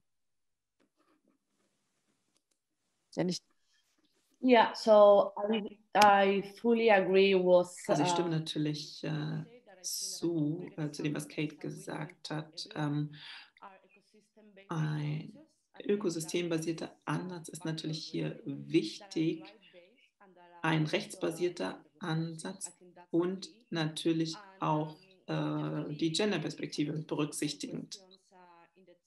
Also einige Fragen im Chat wurden in die Richtung gestellt. Also wir sind auf jeden Fall nicht gegen das Pflanzen von Bäumen. Das sind Initiativen, die von Gemeinden auch geleitet werden, um aufzuforsten. Das Problem, das wir hierbei sehen, ist, dass in einigen Regionen einfach äh, nicht das ist, was getan wird. Also äh, ökosystembasierte Ansätze sind sehr wichtig, die auch die Gender-Perspektive mit einbeziehen und auch natürlich die Rechte achten. Also die lokalen äh, indigenen Bevölkerung brauchen ein Recht auf das Land. Da gibt es natürlich auch äh, genderspezifische Fragen und ähm, sie müssen dann in der Lage sein, die Biodiversität zu erhalten und die Ökosysteme zu schützen. Was heißt eigentlich ganz genau rechtebasierter Ansatz? Also wie kann das konkret aussehen? Frau de la Plaza, sind Sie noch da? Ja, ja sorry, sorry. Okay. Ja, natürlich. Ich dachte, die Frage richtet sich an den nächsten Sprecher. Nee, die ging noch an Sie. Nun, Regierungen müssen diese Rechte anerkennen und berücksichtigen und müssen äh, quasi eine Kartierung vornehmen ähm, und zeigen, wo diese ähm, indigenen Gruppen leben. Und man muss natürlich auch herausstellen, wie die Bedrohungen aussehen und wo diese liegen. Und dann muss man natürlich äh, Lösungen entwickeln aus rechtlicher, aus äh, wirtschaftlicher Sicht und so weiter. So könnte eine Initiative, die von einer lokalen Gemeinde geführt wird, aussehen. Okay, vielen Dank. Dann äh, jetzt auch noch mal an Jutta Kill die Frage. Ähm, Herr Gorissen hat Ihnen ja eigentlich in ganz vielen Punkten recht gegeben und ähm, äh, gesagt, ja, äh, man muss das äh, alles sehr differenziert sehen und, und es gibt noch viele Probleme zu lösen und äh, äh wir machen eigentlich auch gar keine Kompensationen. Äh, wir unterstützen die nicht. Ähm, sind Sie damit zufrieden? A und B, auch von Ihnen noch mal ein paar Sätze dazu wie kann man denn gewährleisten, dass es so ein Win-Win gibt, bei dem, ich glaube, da sind sich alle einig, natürlich die Fossilen erst weg müssen, aber gleichzeitig auch die Natur sozusagen nach vorne gebracht wird, vielleicht eben mit den Mitteln, die äh, auch aus den Unternehmen kommen. Vielleicht zur zweiten Frage als erstes. Ich bin überzeugt davon, dass wir an Win-Win-Win mit Nature-Based sogenannten Solutions im jetzigen, in der jetzigen Gemengelage von Interessen glaubt. Der glaubt auch an eine eierlegende Wollmilchsau. Es geht nicht. Es verkennt, wo die Interessen liegen. Ich glaube nicht an diese Woll äh, eierlegenden Wollmilchsäue und schaue mir die Seiten von den Ölkonzernen an. Äh, Corena Di Plasio erwähnte zu Beginn eine Veranstaltung äh, parallel zur Klimaveranstaltung, letzte, zur Klimakonvention letztes Jahr in Madrid. Ölkonzerne für Nature-Based Climate Solutions. Das sagt uns doch was. Seit dieser Veranstaltung, wenn man sich die Seiten und die Verlautbarungen der größten Ölkonzerne anschaut, sieht man, dass einer nach dem anderen sich bekennt zu klimaneutraler, carbon neutral, climate neutral Oil Production. Das ist doch verrückt. Italien, ähm, äh, Italiens Ölkonzern Eni, da hat sich mal jemand die Zahlen angeguckt, die reden nicht davon, äh, die, das Öl oder die, das Gas unter der Erde zu lassen. Die reden nicht vom Schutz des, Fohlen, äh, des fossilen Kohlenstoffspeichers. Der soll weg. Und die Natur soll es richten. Und Nature-Based Solutions gibt die Vorlage für diese Herangehensweise. Wenn, äh, solange es nicht eine, eine unmissverständliche und völlig klare Ansage gibt, dass Nature-Based Solutions nicht Nature-Based Distractions, Ablenkungen sind von dieser Kernfrage, die im Zentrum stehen muss, nämlich der Schutz des fossilen Kohlenstoffspeichers, wird man weiter diese äh, Ankündigungen sehen, die ja nicht Ankündigungen bei Ankündigungen bleiben. Die führen ja in den Territorien zu einem massiven Landraub und zu Verdrängung. Eni ähm, bei den nicht geplanten Minderungen von, von Öl- und Gasförderungen bräuchte etwa eine Landfläche äquivalent zur Hälfte von Italien. Wo soll das Land denn herkommen? Und es ist bewohnt. Und deshalb halte ich es auch für gefährlich, die Tür aufzumachen, die, sich der Illusion hinzugeben, dass es da sowas wie Win-Win-Win gibt. Win-Win-Win wird für viele Menschen teuer bezahlt zu bezahlen sein. Und das wird nicht bei uns sein. Und das halte ich für unglaublich gefährlich, wenn man dieser, dieser Illusion Vorschub leistet mit der Idee, dass es kleine, schöne Projekte, die wird es geben. Will ich gar nicht irgendwie ähm, außer Rede stellen, dass man auch ein schönes Projektchen finden kann. Das Problem liegt aber woanders. Das Problem liegt, dass dieser Begriff auch von denen aufgegriffen wird, die kein Interesse daran haben, dazu beizutragen, die Klima, das Klimakaos zu verhindern oder auch Vertreibung äh, zu vermeiden. Und das halte ich für brandgefährlich. Wir sehen es schon jetzt, wir haben es bei RED gesehen, kein internationales Waldinstrument der letzten 30 Jahre, in denen ich diese Debatte verfolgt habe um Waldschutz und Klima und insbesondere Waldschutz, ist so konflikt- und gewaltträchtig gewesen wie RED. Wenn man jetzt das Spektrum noch erweitert zu Nature-Based Solutions, dann bereiten wir den Weg wissend zumindest wissen können, ähm, für einen, einen Landraub in massiven Proportionen. Und da ist auch für uns und für Politik und auch für Zivilgesellschaft eine Verantwortung, das zu verhindern, indem wir ganz klar sagen, das kann nicht funktionieren, weil die Interessenlagen so gelagert sind, dass Nature-Based Solutions einen massiven Landraub äh, mit sich bringen. Wenn man nicht die richtigen Rahmenbedingungen setzt. Ähm, ich, ganz kurze Frage, weil sie aus dem Publikum kommt. Sie haben gerade auch gesagt, es gibt ja auch positive oder wichtige äh, Aufforstungsprojekte, Moorprojekte, Waldpflanzungsprojekte. Wie kann man eigentlich erkennen, ob es sich um so ein Monokultur-Ding handelt oder ob es äh, tatsächlich eine sinnvolle Sache ist? Also das fragen viele aus dem Chat. Ja, sinnvolle Sache ist es meines Erachtens dann, wenn man sagt, ich kompensiere nicht. Ähm, ich kann ja die Moor-Renaturierung äh, unterstützen. Ich kann äh, jede Form von äh, Renaturierung unterstützen, indem ich sage, aber die Verantwortung für die Emission, die bleibt bei mir. Das ist ehrlich und das bringt uns auch im gesellschaftlichen Diskurs um das, was es heißt, Klimawandel und Klimatransition hinzukriegen, ohne die bestehenden Ungleichheiten noch zu verschärfen. Es ist doch sehr viel ehrlicher und eben für eine gesamtgesellschaftliche Debatte auch zielführender, wenn ich sage, wenn ich das Flugzeug nehme, dann stehe ich zu meiner Verantwortung. Ich kann dann immer noch andere unterstützen, aber doch nicht, indem ich mir den Ablassschein hole. Das ist ein Unterschied, der auch die Debatte beeinflussen wird. Und deshalb halte ich es eben auch für sehr problematisch, wenn man sagt, man muss den Rest kompensieren. Nee, das muss man nicht. Wir kämen sehr viel weiter, wenn wir sagen, was sich nicht vermeiden lässt, da muss man an einer anderen Stellschraube stehen, äh, stellen, äh, drehen, an dieser Stellschraube, die heißt Wirtschaftssystem, was auf endlosem Wachstum auf einem sehr begrenzten Planeten ähm, basiert.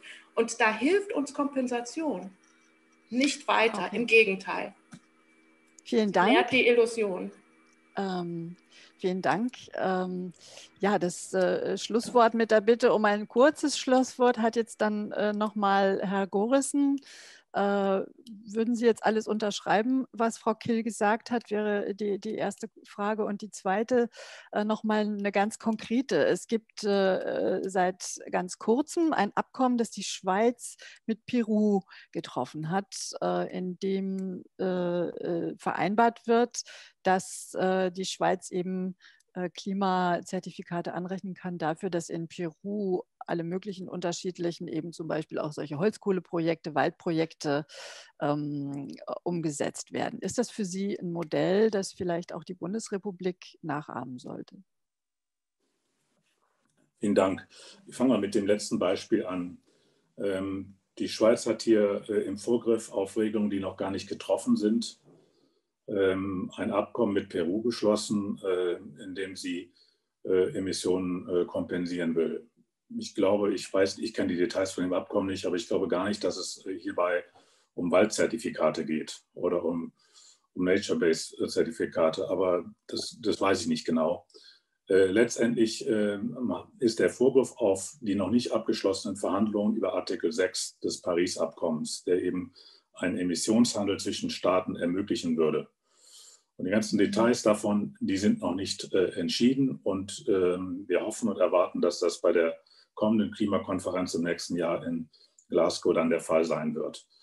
Und die Schweiz hat in dem Abkommen aber auch festgelegt, dass sie sich dann an das halten wird, was dort verhandelt was dort verhandelt und beschlossen wird. Also es werden nicht extra Standards verhandelt. Und ganz wichtiger Standard dabei ist, auf jeden Fall Doppelzählung zu vermeiden.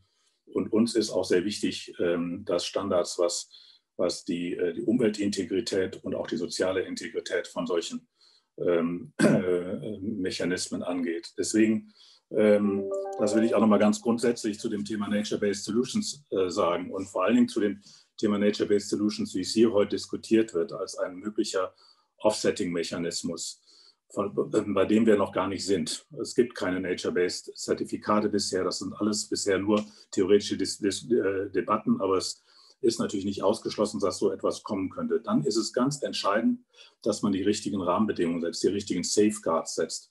Und hier ist die ganze Zeit von Right-Based äh, Ansätzen gesprochen worden. Ja, natürlich, ähm, es müssen auch die, äh, die Rechte der, äh, der, der Betroffenen vor Ort, insbesondere der Indigenen, berücksichtigt werden. Dafür gibt es auch einen anderen Begriff, der heißt Free Prior Informed Consent. Der ist bei uns bei den, bei den RED-Projekten, das sind ja alles nur Pilotprojekte, die wir machen, ganz zentral und den wenden wir dort auch überall an. Wir sind auf jeden Fall äh, bei allen Kritikern von Nature-Based Solutions, wenn, wenn diese Nature-Based Solutions dazu führen würden, dass äh, massiv Menschenrechte verletzt würden oder dass die äh, Auswirkungen auf die Umwelt kontraproduktiv wären. Darum kann es nicht gehen, sondern die, äh, dem wollen wir natürlich auch in Vorschau bleiben. Wir wollen deswegen sowohl, dass, dass es den Menschen weiterhin gut geht, dass sie ihre Lebensqualität erhalten können, dass sie sich entwickeln können und wir wollen, dass die Biodiversität geschützt wird. Das muss die Rahmenbedingung sein, für all das. Was tun wir in dem Bereich schon? Darauf will ich auch mal hinweisen. Ich habe es eben schon gesagt, wir arbeiten mit dem Privatsektor zusammen. Wir fördern Projekte, mit denen man die Transparenz, wie, wie Entwaldung eigentlich heute stattfindet, wo sie stattfindet, durch wen sie verursacht, äh, aufgedeckt wird. Da gibt es heute sehr moderne Methoden, mit denen man bis hin zum einzelnen Unternehmen äh, nachverfolgen kann, wie die Entwaldung tatsächlich, wer die Entwaldung tatsächlich verursacht. Und ähm, ein wesentlicher Treiber ist dabei, das muss ich nochmal sagen, die Landwirtschaft äh, und, und weniger die, äh, die Öl, Ölindustrie, von denen Frau Kill gesprochen hat. Ähm, das Thema Ölindustrie erledigt sich durch das, was ich eben in meinem ersten Statement schon gesagt habe, nämlich dadurch, dass wir die fossilen Energiequellen komplett ausphasen, dass wir die Emissionsanforderungen auf Null runtersetzen. Dann kann man das Öl gar nicht mehr, mehr verkaufen. Und letzter Punkt von mir, der ist ganz zentral. Ähm, die Kritik höre ich und die hören wir heute natürlich nicht zum ersten Mal. Wir nehmen sie auch sehr ernst, aber wir müssen auch wissen, was sind die Alternativen? Wie kann man es dann machen? Für mich ist eine ganz zentrale Erkenntnis aus, aus meiner Beschäftigung mit der ganzen Entwaldungsproblematik in, in tropischen Ländern, ähm, dass dort Geld gebraucht wird. Dass es nicht ohne Mittel geht, die zur Verfügung gestellt werden. Und diese Mittel, die zur Verfügung gestellt werden, müssen in einer geeigneten Art und Weise kanalisiert werden und verbunden werden mit dem, was wir erhalten wollen, nämlich den Wald. Und das ist eigentlich die Kernphilosophie des, des Red Plus-Ansatzes, dass man dass man denjenigen, die den Wald erhalten, das können die Indigenen sein, das können die Kleinbauern sein, das können die staatlichen Stellen sein, dass man die dabei unterstützt, den Wald zu erhalten und ihnen gleichzeitig ihre Lebens- und Entwicklungsmöglichkeiten lässt. Und dafür braucht man Geld. Und dafür muss man einen Mechanismus entwickeln. Ohne Geld wird es nicht gehen. Okay, vielen Dank, Herr Görissen. Ähm, ich bin sicher, wir könnten jetzt noch äh, sehr, sehr lange weiter diskutieren. Leider können wir es aber deshalb nicht, weil unsere Zeit schon um ist. Ähm, es sind viele, viele Sorgen hier deutlich geworden, Sorgen darum, dass äh, Menschenrechte verletzt werden, Sorgen darum, dass falsche ökologische Ansätze äh, wie Monokulturen mhm. äh, getrieben werden, ähm, dass die falschen Debatten geführt werden. Ihr Wort in Gottes Ohr, Herr Gorrissen, dass das tatsächlich so schnell geht mit der Ölindustrie und der Konkurrenzfähigkeit und dem Auslaufen von Emissionen. Ich glaube, da ist noch sehr, sehr viel ähm, politische Arbeit notwendig, denn bisher machen wir ja leider die Erfahrung, dass es dann doch immer alles länger dauert. Ähm, es sind sicher viele Baustellen, vor allen Dingen im Bemühen darum, die fossilen Emissionen loszuwerden, aber dann auch in der Frage, wie gestalten wir äh, vielleicht längerfristig solche Nature-Based Solutions, beziehungsweise wie gestalten wir unseren Planeten so, dass sie vielleicht äh, äh, gar nicht mehr so heißen müssen, sondern dass wir einfach das äh, Ergrünen des Planeten, die Erneuerung unserer Ökosysteme auch äh, aus anderen Töpfen und mit anderen Motiven vorantreiben. Wir haben zum Beispiel auch gar nicht darüber gesprochen, dass ähm, solche Verrechnungssysteme den Blick auf die Natur ja durchaus verändern, sie plötzlich zu einem kommerziellen Gut noch stärker machen, als es jetzt schon der Fall ist. Viele werden unzufrieden sein, das ist immer so bei anderthalb Stunden langen Diskussionen dieser Art, aber vielleicht ist das ja alles auch ein Anstoß für Sie, sich noch weiter damit zu beschäftigen und ähm, einzulesen. Im Chat sind sicherlich eine Menge äh, Anregungen dazu gegeben worden. Ich möchte mich jetzt ähm, ganz, ganz herzlich bedanken. Ähm, äh, zuallererst natürlich bei den Referenten, die sich die Zeit genommen haben, egal wo sie saßen, ob in Australien, in Spanien oder in Berlin. Ich danke ganz herzlich ähm, den Organisatoren, deren intensive Vorarbeit für so ein äh, Webinar immer gar nicht sichtbar wird und für die letzten vier Webinare. Ähm, ich danke ganz herzlich der Technik, bei der es genauso ist, aber ohne die das alles äh, gar nicht möglich wäre. Und natürlich danke ich vor allen Dingen Ihnen, liebe Zuhörer und Zuschauer, für Ihre Aufmerksamkeit und für Interesse ähm, und möchte zum Abschluss äh, noch mal kurz darauf hinweisen, dass Sie dieses und alle anderen Webinare ähm, äh, auf der Seite der Heinrich-Böll-Stiftung auch noch mal nachschauen können. Ich hoffe, es war anregend, ich hoffe, es war interessant ähm, und wünsche Ihnen jetzt einen schönen Tag und viel Erfolg und äh, alles Gute. Auf Wiederhören.